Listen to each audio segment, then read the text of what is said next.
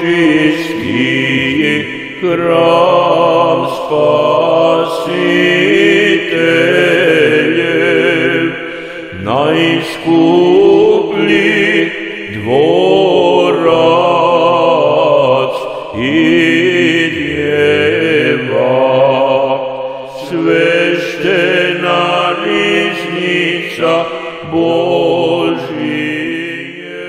Na zapadu Rumunije u Pomorišu, na levoj obali Moriša, nedaleko od sela Munere, na 36 km zapadno od Arada, nalazi se srpski manastir Bezdin. Naziv potiče najvjerovatnije od obližnje vode, sada mrtvelje Bezdne koja je tekla tik uz manastirske zidove. Od mogućeg naziva manastirva vedenja Presvete Bogorodice na Bezdni, tokom vremena je nastala skraćenica Bezdin. Narodni sabor se održava na praznik uspenja Presvete Bogorodice Velike Gospojine. Kako stoji u zapisu na manastirskom psaltiru, gradnja manastira otpočeta je godine 1539. uz pomoć bratije i hristijana. Vo ime Oca i Sina i Svetago Duha. Da se ima znati kada poče se manastir praviti od sozdanja mira 7048. Roždestva Hristova 1539. i nareče se hram vavedenja Bogorodici. Nastojanija Miosava Milutinovića, arhimandrita i sa pomošćiju Vasilija bratija i hristijanija pri mene bratu i ikonomu Leontiju Bogojeviću Jeromonahu. Postojanje arhimandrita, ikonoma i bratije nesumnjivo svedoči o organizovanoj monaškoj zajednici od pre 1539. godine. Po narodnom predanju i podražavanju nekih historičara, prvi titor beše plemeniti Jovan Jakšić, u čijem vlasništvu je bio i posjed sela Munara. U toku turske vladavine u Banatu između 16. i 18. veka, monaška naseobina Bezdin beše izgorela u požaru, ali je monasi nisu napustili, već su sebi sagradili crkvicu Brvnaru u kojoj su obsluživali sve do izgradnje sadašnje. Kada je Austrija isterala Turski zauzela Banat 1718. godine, manastir Bezdin ne samo da je postojao, nego se i žilavo opirao pokušajima nove administracije da mu ospori pravo na posred posredstvom nastojatelja Timoteja Mirilovića, koji je dokazivao svoje pravo nad zemljištem koje je od pre zadobio. Darodavci i vernici su smatrali za čast da budu pogrebeni u manastirskoj porti. Iz toga vremena sačuvane su ugrađene s polja u oltarski zid nadgrobne ploče.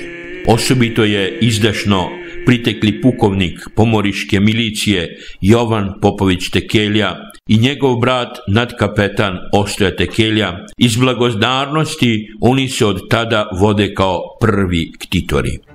Primorani da zbog upada Turaka pođu uz begi posle dugog stranstvovanja po Banatu, iguman Teodosije Veselinović dobi dozvolu od temišvarskog episkopa Nikole Dimitrijevića da se sa bratstvom manastira Vinče naseli u manastir Bezdin. Vinčanski kaluđeri su sa sobom nosili ili upravo vozili sve što su iz svoga manastira mogli poneti. Sveštene sasude, kandila, litije, odežde, knjige, nove kočije, jedno zvono teško 29 kg sa natpisom Sije zvono manastira Vinče, krama presvetle bogorodice u knjaževini Serviji. Već 1740. godine izvršeno je premeravanje atara i bezdinski posjed je odeljen i obeležen neposredno zatim u arheološko područje nazvano tvrđava postavljene su dve kamene ante koje su označavale međe manastirskog posjeda sa natpisima na latinskom i staroslovenskom. Najstarija manastirska građevina je crkva, zidana od cigle, na hrastovim stubovima Suštinske odlike sačuvala je od svoga postanka u 16. veku, a to je vizantijski stil arhitekture, tipično za moravsku školu. Ne raskošna, nego otmena u svojoj jednostavnosti, ostala je stara jednobrodna, sa poluobličastim svodom završena sa tri apside i sa kupolom iznad krsta. U staru crkvu manastira Bezdina visoki zvonik je prizidan pre 1741. godine. Godine 1775. izgradio se istočni deo konaka sa kapelom i dvema trpezarijama.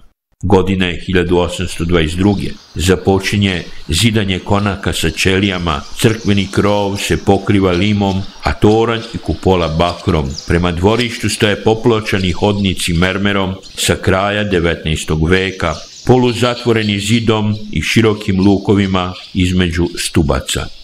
Time je manastir poprimio svoj konačni oblik, kojem je do današnjih dana vrlo malo oduzeto, a još manje dodato. Zapis na mermenoj ploči s polja iznad zapadnih vrata iz 1781. dokazuje da je postojeća crkva temeljno opravljena. Možda je upravo tada nastao i treći sloj zidnog slikarstva u crkvi koji daje posebnu draž ovome starom hramu i pripadao je aradskom slikaru Stefanu Teneckom koji je molovao templo umesto milostinje 1753.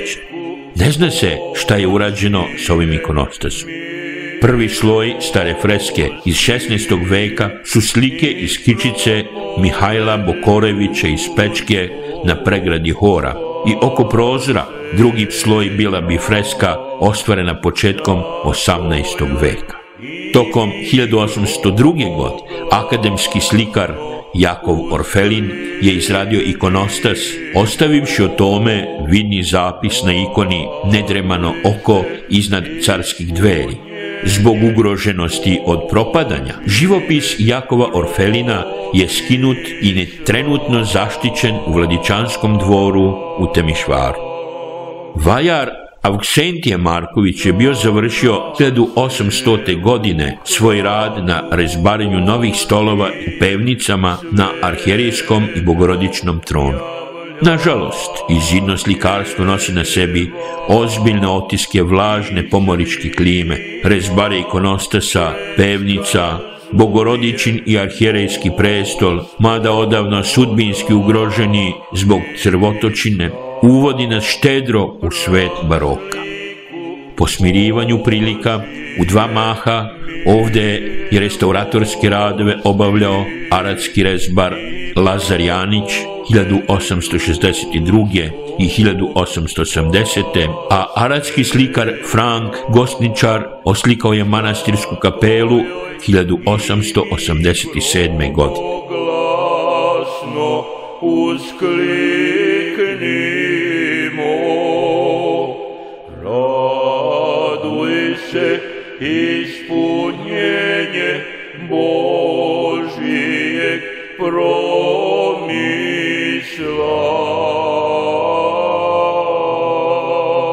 Posebne manastirske dragocenosti su carske dveri i čudotvorna ikona Bogorodice koje je donelo godine 1737. bratstvo manastira Vinče iz Srbije.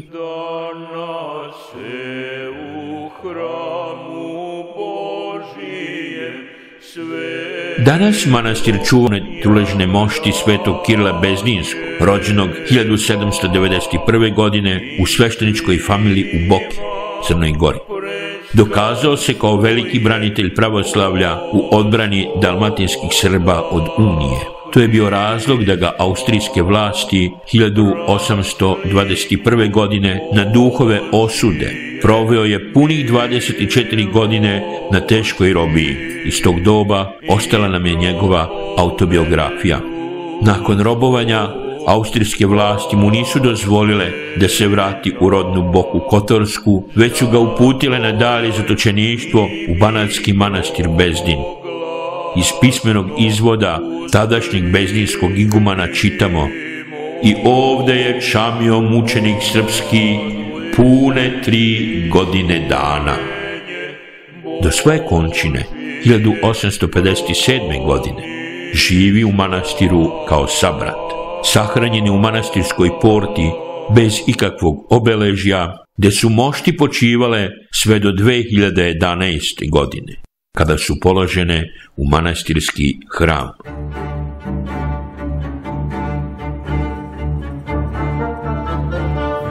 U ratnom sudaru pobunjenika i carskih trupa 1848. 1849. godine manastir je zaposela Košutova vojska i koristila ga za snabdevanje. Manastirsku šumu je sekla za gradnju aradskog utvrđenja. Manastir je imao štete koje mu nisu potpuno nadoknađene. Ploča u manastirskoj porti govori nam o manastirskom posjedu zemlje koje je ono vreme svrstavao Bezdin u red najbogatijih srpskih manastira. Agrarnom reformom iz 1921. godine od zemljišnog posjeda koji je iznosio 2381 jutro, manastiru je ostavljeno svega 67 jutara. U Bezdinu je radila i srpska monaška škola, čiji su kaluđeri očuvali Temišvarsku eparhiju.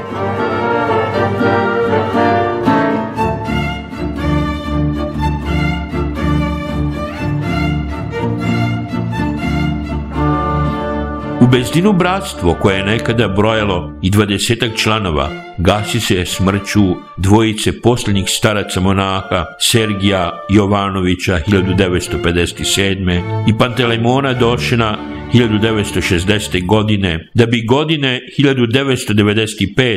o prazniku uspenja presvete Bogorodice bila zamonašena nedavno upokojena igumanja Angelina Bajić i brinula sama o našoj svetinji punih 20 godina.